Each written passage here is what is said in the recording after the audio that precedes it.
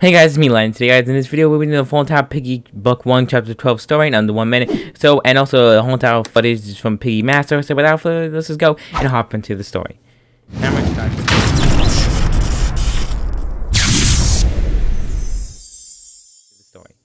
Timer starts now.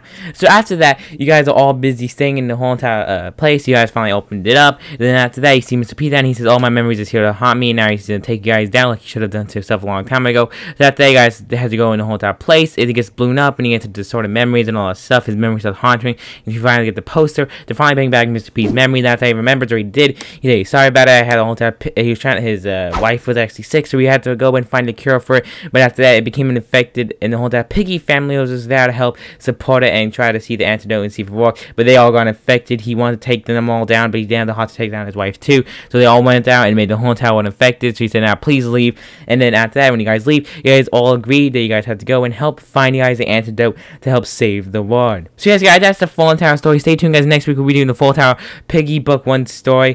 The Fallen Tower, all 12 chapters in under 1 minute. Or maybe under 2 minutes 50 seconds. Who knows at this point. It might be a little bit too long under a minute. But anyways, guys, I hope you like answer to me as a comments everything in this video. And you all in the next video, guys.